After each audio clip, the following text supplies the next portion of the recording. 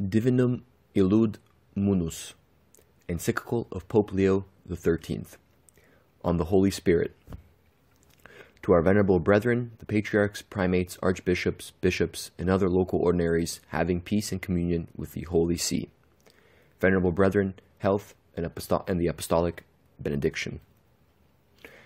That divine office was Jesus, which Jesus Christ received from his Father for the welfare of mankind, and most perfectly fulfilled, had for its final object to put men in possession of the eternal life of glory, and proximately during the course of ages to secure to them the life of divine grace, which is destined eventually to blossom into the life of heaven. Wherefore, our Saviour never ceases to invite, with infinite affection, all men of every race and tongue into the bosom of his church. Come ye all to me. I am the life, I am the good shepherd. Nevertheless, according to his inscrutable counsels, he did not will to entirely complete and finish this office himself on earth, but as he had received it from the Father, so he transmitted it for its completion to the Holy Ghost. It is consoling to recall those, assur- those assurances which Christ gave to the body of his disciples a little before he left the earth. It is expedient to you that I go, for if I go not, the Paraclete will not come to you. But if I go, I will send him to you. In these words, he gave as the chief reason of his departure and his return to the Father the advantage which, which would most certainly accrue to his followers from the coming of the Holy Ghost, and, at the same time, he made it clear that the Holy Ghost is equally sent by, and therefore proceeds from, himself and the Father, that he would complete in his office of intercessor, consoler, and teacher the work which Christ himself had begun in his mortal life. For, in the redemption of the world, the completion of the work was by divine providence reserved to the manifold power of that Spirit, who, in the creation, adorned the heavens and filled the whole world. Subheading The two principal aims of our pontificate.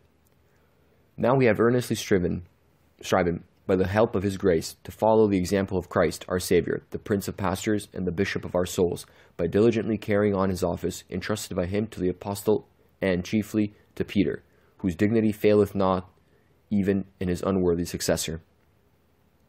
In pursuance of this object, we have endeavored to direct all that we have attempted and persistently carried out during a long pontificate towards two chief ends. In the first place, towards the restoration, both in rulers and peoples, of the principles of the Christian life in civil and domestic society, since there is no true life for men except from Christ. And secondly, to promote the reunion of those who have fallen away from the Catholic Church, either by heresy or by schism, since it is most undoubtedly the will of Christ that all should be united in one flock under one shepherd. But now that we are looking forward to the approach of the closing days of our life, our soul is deeply moved to dedicate to the Holy Ghost, who is life giving love, all the work we have done during our pontificate, that he may bring it, bring it to maturity and fruitfulness. In order the better and more fully to carry out this our intention, we have resolved to address you at the approaching sacred season of Pentecost concerning the indwelling and miraculous power of the Holy Ghost, and the extent and efficiency of his action, both in the whole body of the Church and in the individual souls of its members, through the glorious abundance of his divine graces. We earnestly desire that, as a result, faith may be aroused in your minds concerning the mystery of the adorable Trinity, and especially that piety may increase and be inflamed towards the Holy Ghost, to whom especially all of us owe the grace of following the paths of truth and virtue. For, as St. Basil said, Who denieth that the dispensations concerning man, which have been made by the great God and our Saviour, Jesus Christ, according to the goodness of God, have been fulfilled through the grace of the Spirit. Subheading The Catholic Doctrine of the Blessed Trinity. Before we enter upon this subject, it will be both desirable and useful to say a few words about the mystery of the Blessed Trinity. This dogma is called by the doctors of the Church the substance of the New Testament, that is to say, the greatest of all mysteries, since it is the fountain and origin of them all. In order to know and contemplate this mystery, the angels were created in heaven and men upon earth. In order to teach more fully this mystery, which was best foreshadowed in the Old Testament, God himself came down from the angels unto men. No man hath seen God at any time, the only begotten Son, who is in the bosom of the Father, he hath declared him. Whosoever then writes or speaks of the Trinity must keep before his eyes the prudent warning of the angelic doctor. When we speak of the Trinity, we must do so with caution and modesty, for, as St. Augustine saith, nowhere else are more dangerous errors made, or is research more difficult, or discovery more fruitful. The danger that arises is lest the divine persons can be confounded one with the other in faith or worship, or lest the one nature in them be separated. For this is the Catholic faith, that we should adore one God in Trinity and Trinity in unity. Therefore, our predecessor Innocent the seventh, sorry, the twelfth, absolutely refused the, the petition of those who desired a special festival in honor of God the Father. For, although the separate mysteries connected with the incarnate Word are celebrated on certain fixed days, yet there is no special feast on which the Word is honored according to his divine nature alone. And even the feast of Pentecost was instituted in the earliest times, not simply to honor the Holy Ghost in himself, but to commemorate his coming or his external mission. And all this has been wisely ordained, lest from distinguishing the persons men should be led to distinguish the divine essence. Moreover, the Church, in order to preserve in her children the purity of faith, instituted the feast of the Most Holy Trinity, which John XXII afterwards extended to the universal Church.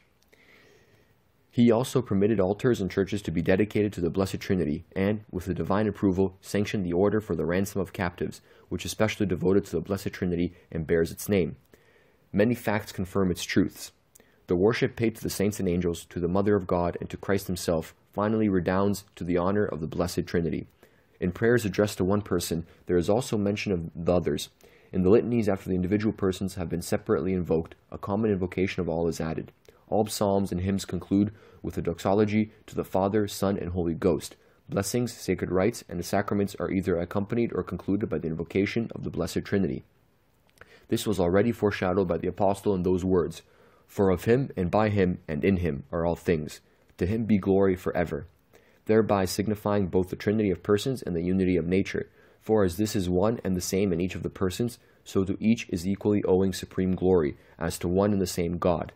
St. Augustine, commenting upon this testimony, writes The words of the Apostle, of him, and by him, and in him, are not to be taken indiscriminately. Of him refers to the Father, by him to the Son, and in him to the Holy Ghost. The Church is accustomed most fittingly to attribute to the Father those works of the divinity in which power excels, to the Son those in which wisdom excels, and those in which love excels to the Holy Ghost. Not that all perfections and external operations are not common to the divine persons, for the operations of the Trinity are indivisible, even as the essence of the Trinity is indivisible.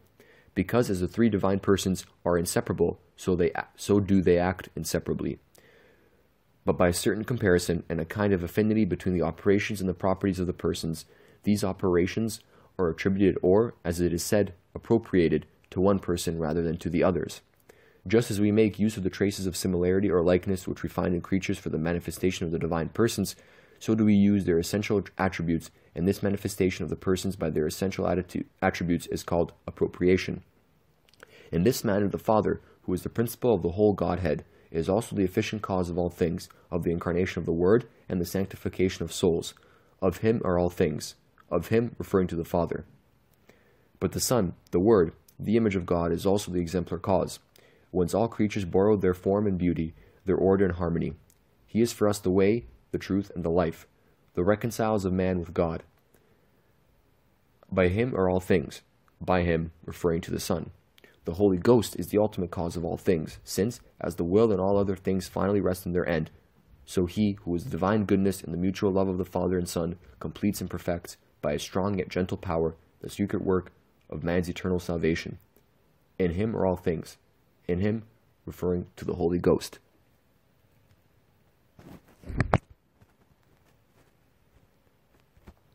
Subtitle The Holy Ghost and the Incarnation. Having thus paid the due tribute of faith and worship owing to the Blessed Trinity, and which ought to be more and more inculcated upon the Christian people, we now turn to the exposition of the power of the Holy Ghost. And, first of all, we must look to Christ, the founder of the Church and the Redeemer of our race. Among the external operations of God, the highest of all is the mystery of the incarnation of the Word, in which the splendor of the divine perfection shines forth so brightly that nothing more sublime can even be imagined. Nothing else could have been more salutary to the human race. Now, this work, although belonging to the whole Trinity, is still appropriated especially to the Holy Ghost, so that the Gospels thus speak of the Blessed Virgin. She was found with child of the Holy Ghost, and that which is conceived in her is of the Holy Ghost. And this is rightly attributed to him who is the love of the Father and the Son, since this great mystery of piety proceeds from the infinite love of God towards man, as St. John tells us, God so loved the world as to give his only begotten Son. Moreover, Human nature was thereby elevated to a personal union with the Word, and this dignity is given, not on account of any merits, but entirely and absolutely through grace, and therefore, as it were, through the special gift of the Holy Ghost. On this point, St. Augustine writes This manner in which Christ was born of the Holy Ghost indicates to us the grace of God, by which humanity, with no antecedent merits, merits at the first moment of its existence, was united with the Word of God by so intimate a personal union that he, who was the Son of Man, was also the Son of God. And he who was the Son of God was also the Son of Man. By the operation of the Holy Spirit, not only was the conception of Christ accomplished, but also the sanctification of his soul, which, in Holy Scripture, is called his anointing. Wherefore, all his actions were performed in the Holy Ghost, and especially the sacrifice of himself. Christ, through the Holy Ghost, offered himself without spot to God. Considering this, no one can be surprised that all the gifts of the Holy Ghost inundated the soul of Christ. In him resided the absolute fullness of grace, in the greatest and most efficacious manner possible. In him were all the treasures of wisdom and knowledge, gratiae gratis datae, virtues, and all other gifts foretold in the prophecies of Isaiah, and also signified in that miraculous dove which appeared at the Jordan when Christ, by his baptism, consecrated its water for a new sacrament. Its waters for a new sacrament. On this, the words of, of St. Augustine may appropriately be quoted. It would be absurd to say that Christ received the Holy Ghost when he was already thirty years of age, for he came to his baptism without sin, and therefore not without the Holy Ghost. At this time, then, that is, at his baptism, he was pleased to prefigure, prefigure his church, in which those especially who were baptized received the Holy Ghost. Therefore, by the conspicuous apparition of the Holy Ghost over Christ and by his invisible power in his soul, the twofold mission of the Spirit is foreshadowed, namely, his outward and visible mission in the church, and his secret indwelling in the souls of the just.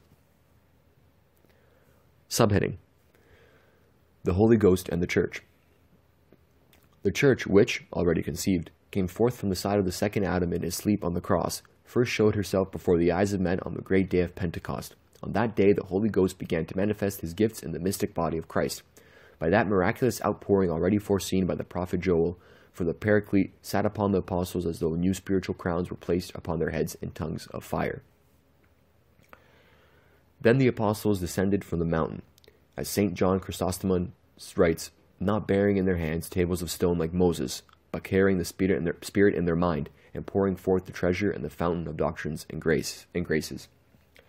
Thus was fully accomplished that last promise of Christ to his apostles of sending the Holy Ghost, who was to complete and, as it were, to seal the deposit of doctrine committed to them under his inspiration.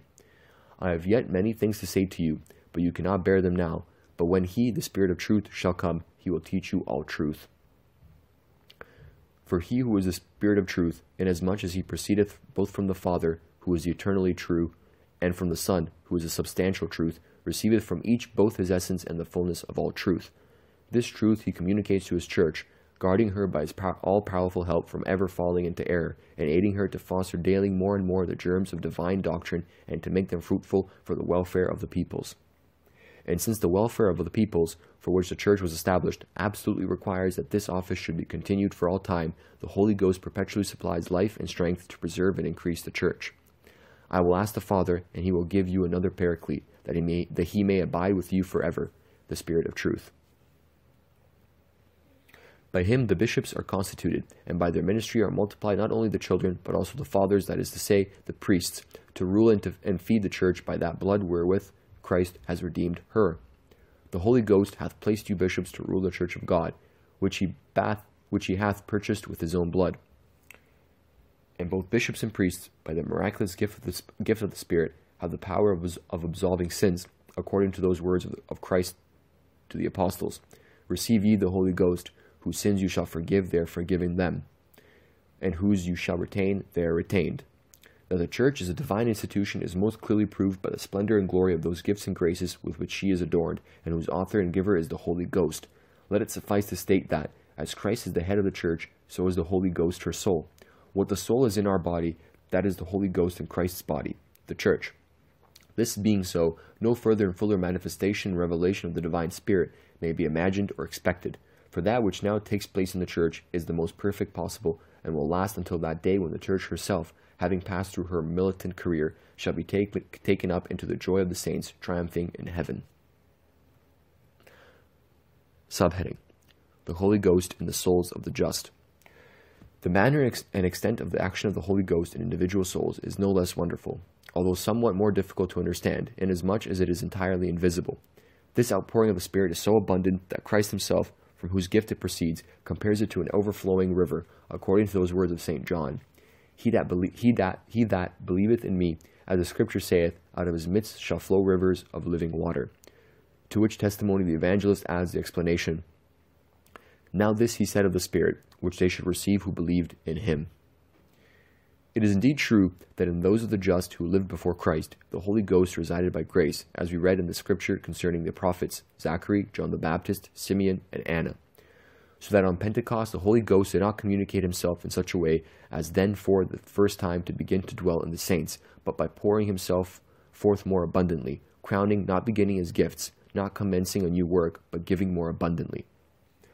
But if they also were numbered among the children of God, they were in a state like that of servants, for as long as the heir is a child, he differeth nothing from a servant, but is under tutors and governors. Moreover, not only was their justice derived from the merits of Christ, who was to come, but the communication of the Holy Ghost after Christ was much more abundant, just as the price surpasses in value the earnest and the reality excels the image. Wherefore St. John declares, As yet the Spirit was not given, because Jesus was not yet glorified. So soon, therefore, as Christ, ascending on high, entered into possession of the glory of his kingdom, which he had won with so much labor, he munificently opened up opened out the treasures of the Holy Ghost. He gave gifts to men. For that giving or sending forth of the Holy Ghost after Christ's glorification was to be such as had never been before. Not that there had never been none before, but it had not been of the same kind. Human nature is by necessity the servant of God. The creature is a servant. We are the servants of God by nature. On account, however, of original sin, our whole nature had fallen into such guilt and dishonor that we had become enemies to God. We were by nature the children of wrath. There was no power which could raise us and deliver us from this ruin and eternal destruction. But God, the creator of mankind and infinitely, infinitely merciful, did this through his only begotten Son, by whose benefit it was brought about that man was restored so that rank and dignity whence he had fallen, and was adorned with still more abundant graces. No one can express the greatness of this work of divine grace in the souls of men. Wherefore, both in Holy Scripture and in the writings of the Fathers, men are styled regenerated, new creatures, partakers of the divine nature, children of God, godlike, and similar epithets. Now these great blessings are justly attributed as especially belonging to the Holy Ghost. He is the spirit of, a, of adoption of sons, whereby we cry, Abba, Father. He fills our hearts with the sweetness of paternal love. The Spirit Himself giveth testimony to our spirit that we are the sons of God. This truth accords with the similitude observed by the angelic doctor between both operations of the Holy Ghost. For through him Christ was conceived in holiness to be by nature the Son of God, and others are sanctified to be the sons of God by adoption. This spiritual generation proceeds from love in a much more noble manner than the natural, namely, from the uncreated love. The beginnings of this regeneration and renovation of man are by baptism. In this sacrament, when the unclean spirit has been expelled from the soul, the Holy Ghost enters in and makes it like to himself. That which is born of the Spirit is spirit.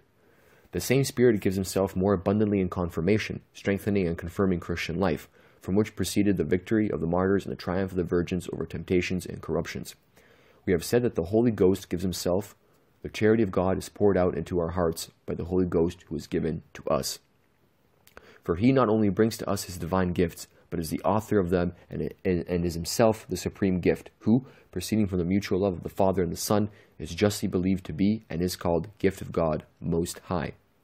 To show the nature and efficacy of this gift, it is well to recall the explanation given by the doctors of the Church of the words of Holy Scripture. They say that God is present and exists in all things, by his power, by his essence, inasmuch as he is present to all as the cause of their being. Sorry, by his power, insofar as by his power, insofar as all things are subject to his power, by his presence, inasmuch as much as all things are naked and open to his eyes, by his essence, inasmuch as much as he is present to, to all as the cause of their being. But God is in man, not only as in inanimate things, but because he is more fully known and loved by him, since even by nature we spontaneously love, desire, and seek after the good. Moreover, God by grace resides in the just souls soul in the just soul as in a temple, in a most intimate and peculiar manner. From this proceeds that, that union of, of affection by which the soul adheres most closely to God, more so than the friend is united to his most loving and beloved friend, and enjoys God in all fullness and sweetness. Now, this wonderful union, which is properly called indwelling, differing only in degree or state from that with which God beatifies the saints in heaven, although it is most certainly produced by the presence of the whole of the whole blessed Trinity, we will come to him and make our abode with him nevertheless, is attributed in a peculiar manner to the Holy Ghost. For, whilst traces of divine power and wisdom appear even in the wicked man, charity, which, is, which as it were, is a special mark of the Holy Ghost, is shared in only by the just. In harmony with this, the same Spirit is called holy, for he, the first and supreme love, moves souls and leads them to sanctity, which ultimately consists in the love of God. Wherefore, the apostle, when calling us to the temple of God, does not expressly mention the Father or the Son, or the Holy Ghost. Know ye not that your members are the temple of the Holy Ghost, who is in you, whom you have from God? The fullness of divine gifts is in many ways a consequence of the indwelling of the Holy Ghost in the souls of the just. For, as St. Thomas teaches, when the Holy Ghost proceedeth as love, he proceedeth in the character of the first gift. Whence Augustine, with that, through the gift which is the Holy Ghost, many other special gifts are distributed among the members of Christ. Among these gifts are those secret warnings and, invita- and invitations, which from time to time are excited in our minds and hearts by the inspiration of the Holy Ghost. Without these, there is no beginning of a good life, no progress, no arriving at eternal salvation. And since these words and admonitions are uttered in the soul in an exceedingly secret manner, they are sometimes aptly compared in Holy Writ to the breathing of a coming breeze, and the angelic doctor likens them to the movements of the heart which are wholly hidden in the living body. Thy heart has a certain hidden power, and therefore the Holy Ghost, who invisibly vivifies and unites the church, is compared to the heart. More than this, the just man, that is to say, he who lives the life of divine grace, and acts by the fitting virtues as by means of faculties, has need of those seven gifts which are properly attributed to the Holy Ghost. By means of them, the soul is furnished and strengthened so as to obey more easily and promptly his voice and impulse. Wherefore, these gifts are of such efficacy that they lead the just man to the highest degree of sanctity, and of such excellence that they continue to exist even in heaven, though in a more perfect way. By means of these gifts, the soul is excited and encouraged to seek after and attain the evangelical beatitudes, which, like the flowers that come forth in the springtime, are the signs and harbingers of eternal beatitude. Lastly, there are those blessed fruits, enumerated by the Apostle, which the Spirit, even in this mortal life, produces and shows forth in the just, fruits filled with all sweetness and joy, inasmuch as they proceed from the Spirit, who is in the Trinity the sweetness of both Father and Son, filling all creatures with infinite fullness and profusion. The divine Spirit, proceeding from the Father and the Word in the eternal light of sanctity, himself both love and gift, are having manifested himself, after having manifested himself through the veils of figures in the Old Testament, poured forth all his fullness upon Christ and upon his mystic body, the Church, and called back to it by his presence and grace and called back by his presence and grace men who were going away in wickedness and corruption with such salutary effect that, being no longer of the earth earthly, earthy, they relished and desired quite other things, becoming of heaven heavenly. Subheading On Devotion to the Holy Ghost. These sublime truths, which so, which so clearly show forth the infinite goodness of the Holy Ghost towards us, certainly demand that we should direct towards him the highest homage of our love and devotion. Christians may do this most effectually if they will daily strive to know him, to love him, and to implore him more earnestly, for which reason may this our exhortation, flowing spontaneously from a paternal heart, reach their ears. Perchance there are still to be found among them, even nowadays, some who, if asked, as were those of old by St. Paul the Apostle, whether they have received the Holy Ghost, might answer in like manner. We have not so much as heard whether there be a Holy Ghost. At least there are certain, certainly many who were very deficient in their religious practices, but their faith is involved in much darkness. Wherefore all preachers and those having care of souls should be should remember that it is their duty to instruct their people more diligently and more fully about the Holy Ghost, avoiding, however, difficult and subtle controversies, and eschewing the dangerous folly of those who rashly endeavor to pry into divine mysteries. What should be chiefly dwelt upon and clearly explained is the multitude and greatness of the benefits which have been bestowed, and are constantly bestowed, upon us by this divine giver, so that errors and ignorance concerning matters of such moment may be entirely dispelled, as unworthy of the children of light. We urge this, not only because it affects a mystery by which we are directly guided to eternal life, and which must therefore be firmly believed, but also because the more clearly and fully the good is known, the more earnestly it is loved. Now we owe to the Holy Ghost, as we mentioned in the second place, love, because he is God. Thou shalt love the Lord thy God with thy whole heart, and with thy whole soul, and with thy whole strength. He is also to be loved because he is the substantial, eternal, primal love, and nothing, and nothing is more lovable than love. And this all the more because he has overwhelmed us with the greatest benefits, which both testify to the benevolence of the giver and claim the gratitude of the receiver. This love has a twofold and most conspicuous utility. In the first place, it will excite us to acquire, acquire daily a clearer knowledge about the Holy Ghost. For, as the angelic doctor says, the lover is not content with the superficial knowledge of the beloved, but striveth to inquire intimately into all that appertains to the beloved, and thus to penetrate into the interior. As is said of the Holy Ghost, who is the love of God, that he searcheth even the profound things of God. In the second place, it will obtain for us a still more abundant supply of heavenly gifts. For whilst a narrow heart contracteth the hand of the giver, a grateful and mindful heart causeth it to expand. Yet we must strive that this love should be of such a nature as not to consist merely in dry speculations or external observances, but rather to run forward towards action, and especially to fly from sin, which is in a more special manner offensive to the Holy Spirit. For whatever we are, that we are by the divine goodness, and this goodness is especially attributed to the Holy Ghost. The sinner offends that his the, the sinner offends this his benefactor, abusing his gifts, and taking advantage of his goodness becomes more hardened in sin day by day Again, since he is the Spirit of truth, whosoever faileth by weakness or ignorance may perhaps have some excuse before Almighty God. But he who resists the truth through malice and turns away from it sins most grievously against the Holy Ghost.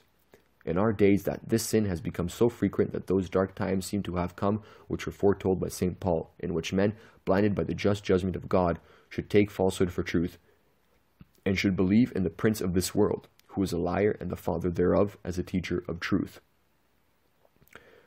God shall send them the operation of error to believe lying. In the last times some shall depart from the faith, giving heed to spirits of error and the doctrines of devils. But since the Holy Ghost, as we have said, dwells in us as in his temple, we must repeat the warning of the apostle. Grieve not the Holy Spirit of God, whereby you are sealed.